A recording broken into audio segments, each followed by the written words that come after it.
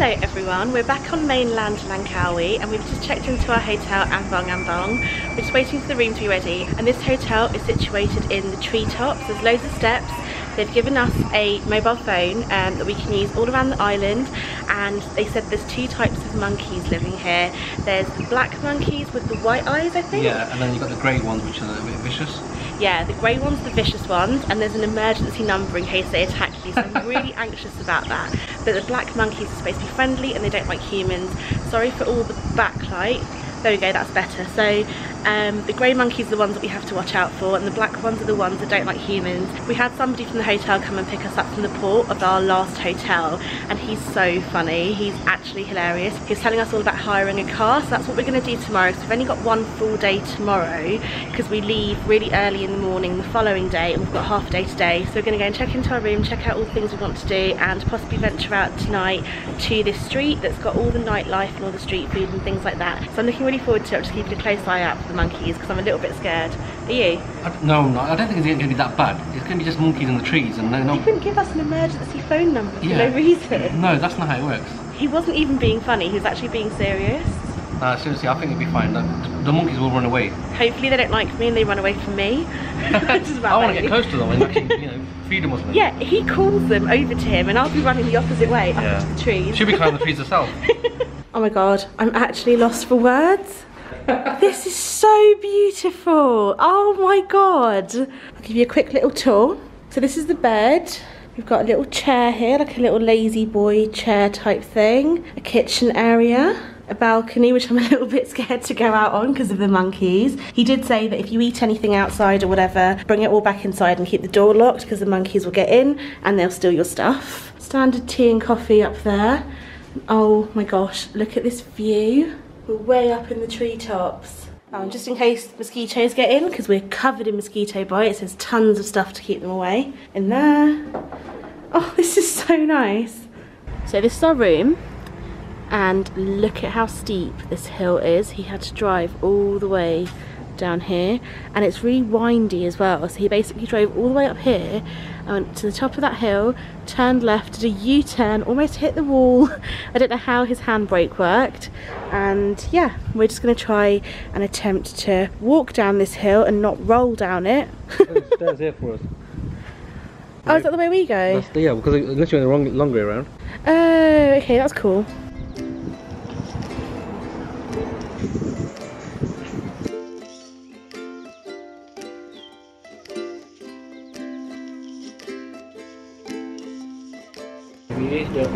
vodka oh infused. Nice sometimes. Yeah. Peppermint vodka. Peppermint. ah nice Okay.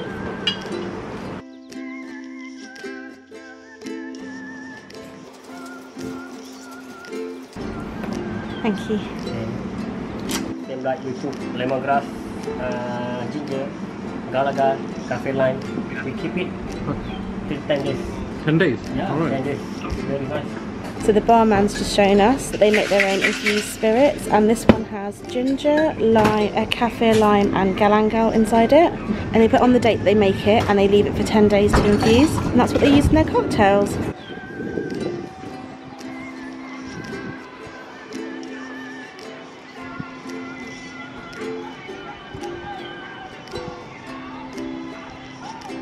There's a monkey up there.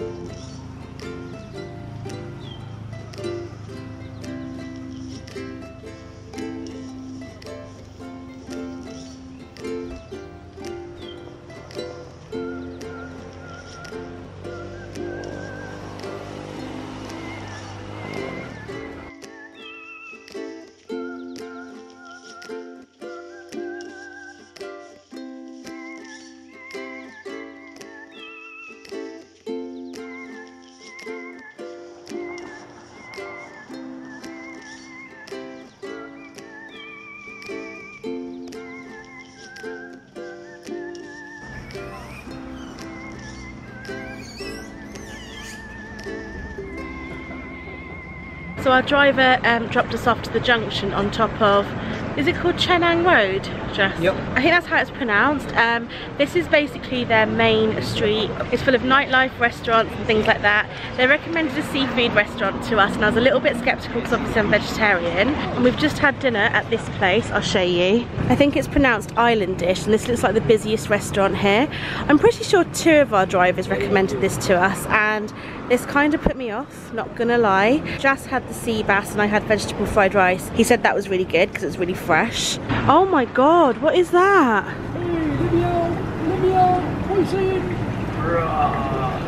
Oh, you can also eat this.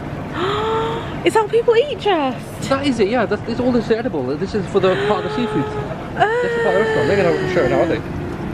Oh, that's gross. There's lobsters and things, but I mean, lobster doesn't really gross me out because I feel like you see it everywhere. But that just looks like it could be someone's pet. It's called a group pack. Oh, okay. Anyway, so even though it was a seafood restaurant, the guy was so accommodating, it was really nice. I told him I was vegetarian and he was like, oh that's fine, do you eat egg, do you eat oyster sauce? And he was asking all the right questions because sometimes they just sort of fob you off and they're like, yeah, yeah, yeah, oyster sauce is vegetarian, it's fine. Um, he was really nice, wasn't he? Yeah, he was really, he knows his stuff.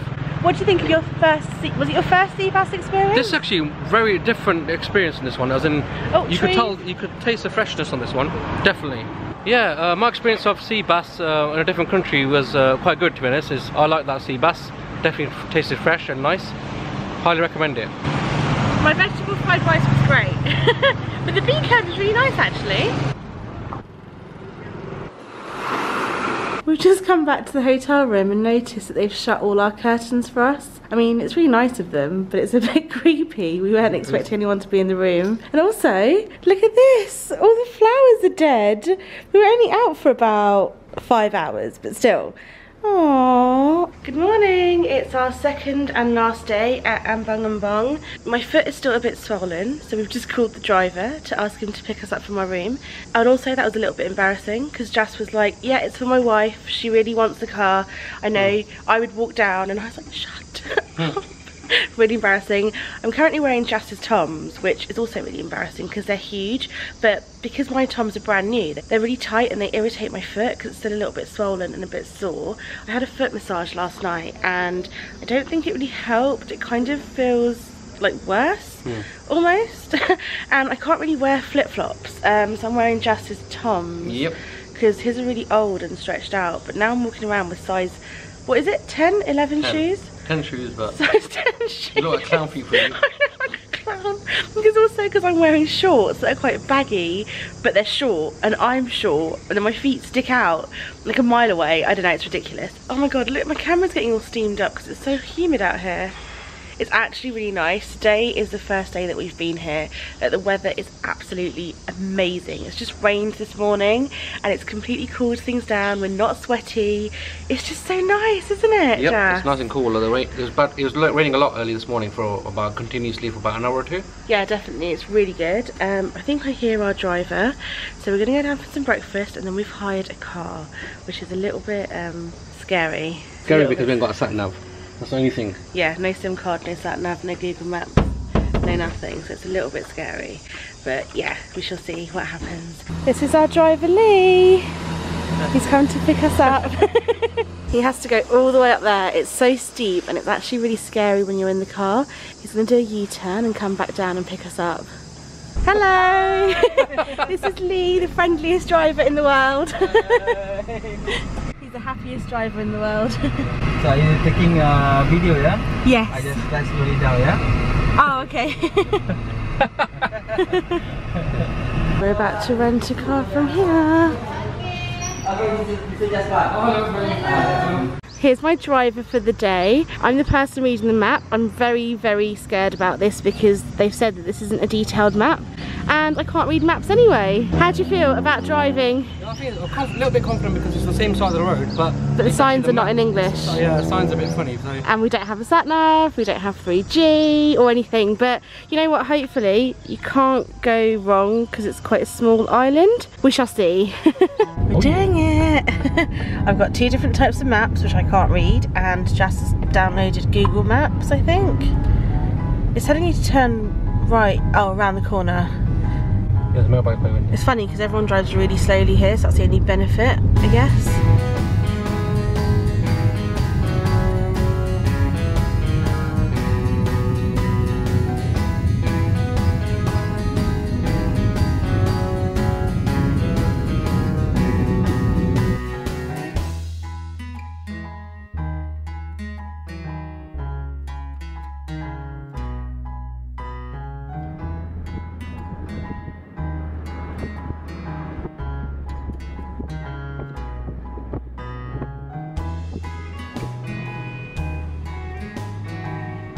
Made it! And it was only a 30 minute drive. It's actually really easy to drive in Langkawi.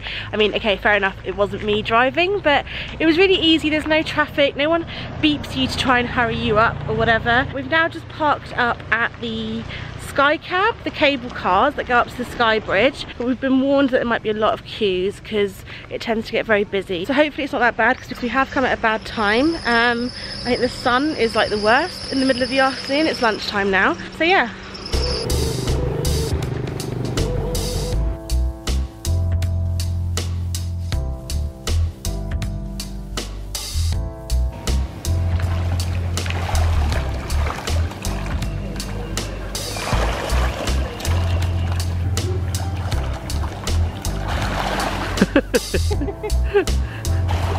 Initially causing a bit of storm with the uh, with the food.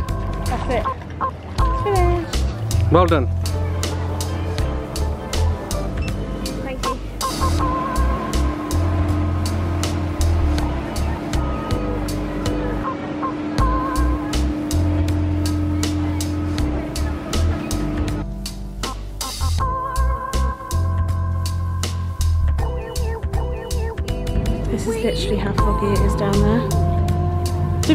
That way and we think this is the halfway point um, because then we need to go back down that way to go towards the Sky Bridge. We're not sure if we're actually going to go on the Sky Bridge today though because it's such an overcast day it's probably not really worth it and it's a bit of a shame because it's our last day in Langkawi um, but we're going to get the cable car going that way.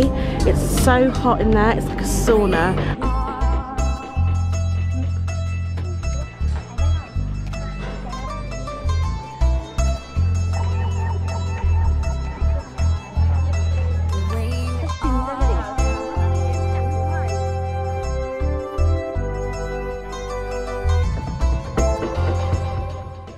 So we're now in the 60s cinema. I don't know if you can see me. It's about to start. I did not like that experience, did you? That's right, eh? It was really scary because it's all about roller coasters and that's what I hate. We're now going to check out this 3D art place.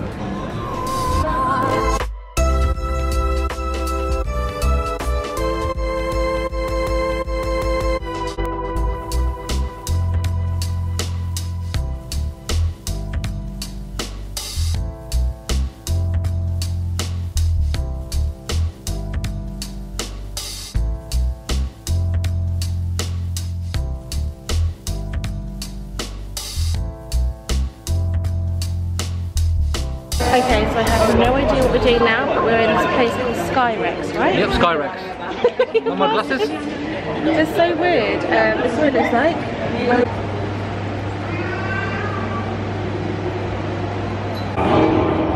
Welcome to Dinosaur Island.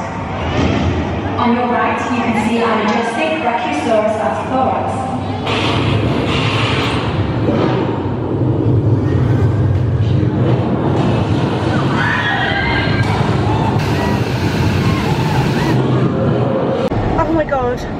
Day. We haven't eaten all day and we're absolutely starving. So parking only cost us six ringgit, which is just over a pound. Um, but that means that we were here five hours. We weren't expecting to spend five hours in the Oriental Village, but to get to the Sky Cab, you have to go through the whole village. So obviously we walked around the whole thing and we saw loads of different things. We're now gonna go to the waterfall. What's it called? Temur? Seven, seven wells waterfall. Seven Wells Waterfall because apparently that's really beautiful and a lot of people go there for a picnic. We did actually plan to drive around the whole island but I don't think that's going to happen because it's quarter past six half past six now. So the sun's starting to set and we were told to be careful when we drive in the dark because there's a lot of cows, buffaloes and monkeys that cross the road and pigs that cross the road, right? yeah.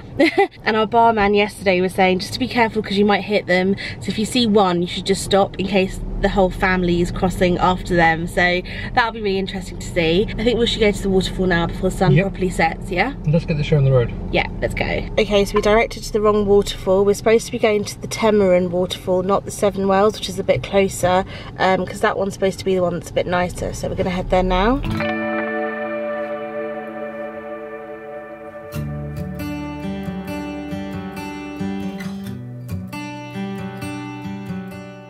Place actually really reminds me of Krabi.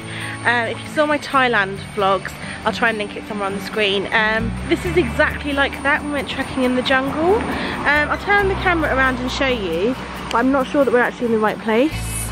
So this is what it says. The waterfall is supposed to be called Temurun.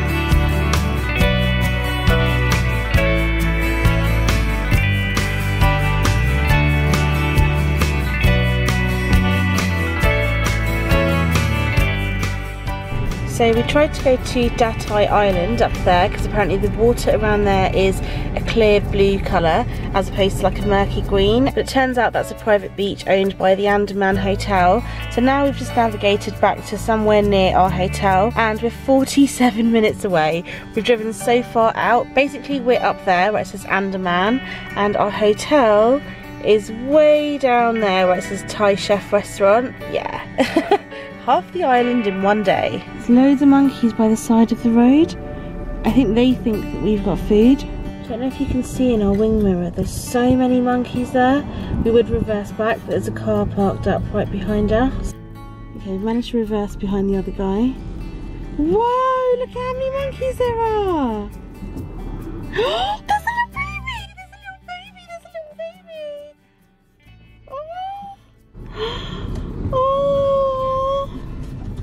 my god. This guy's right up against the car. The doors are locked, right? Oh shit.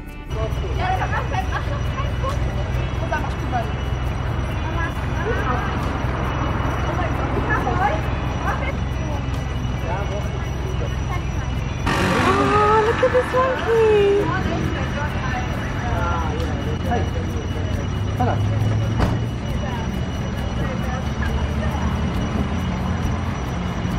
It's gone.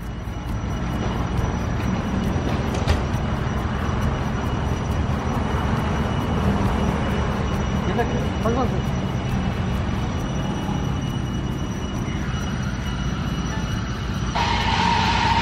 so cute.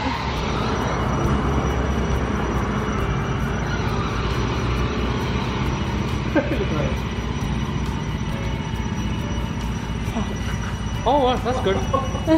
oh, the biscuits, isn't it? Oh, he's eating his biscuit. This is so bad. This is a T junction without any traffic lights, and we've been sat here for a few minutes because nobody's giving us way on that side. This is like madness. On that side. Okay, this side's clear. What about your side? Oh, seems it. What's that big moment? Okay, go, go, go, go, go, go, go, go, go. Yay, we did it! Oh man, I'm so tired. We walked far too many steps today. And we've just been sitting around in the car driving around. We find ourselves back in this place where we hired our car from. It's called Casino Car and next door to it there's an Indian restaurant called Tulsi Garden. I think three different people recommended that restaurant to us so we thought we might dine there but on the way here in this parade of shops I've just seen like a Japanese restaurant and a really busy something else. It's called Sun Cafe. So I thought we might just check that out look at all their menus and then decide where we eat from there. It's our last night here which is really sad because I've loved staying at Ambong Ambong. I know I say this every time, this really is the best hotel we've stayed in so far. This one definitely is. So we settled on the Indian restaurant because everything else was literally just pizza or pasta if you wanted vegetarian food. I decided that I didn't come halfway across the world to eat Italian food, so here we are. I still don't know why I'm having Indian, but you know, when in Asia. So we have garlic naan, we have paneer, and vegetable korma. I'm so hungry. This is our first proper meal since breakfast and it's almost 10 p.m. Oh my god, that food was awful. I would not recommend that place at all. Their service was terrible too. Oh, I feel a bit sick after eating that food. We're just having a little nightcap. Uh, the barman made me a peppermint caprioska because it was the first drink I had when we arrived. We just met the owners of this hotel and they're so lovely. He was like, I'll give you some drinks on the house because you've been vlogging this, which is so nice of them. We're just going to enjoy this nightcap and then go back up to our room, pack up all our stuff, we've arranged a taxi and done everything that we need to do for tomorrow, right? Yep. Um, so yeah. We're off to Bali!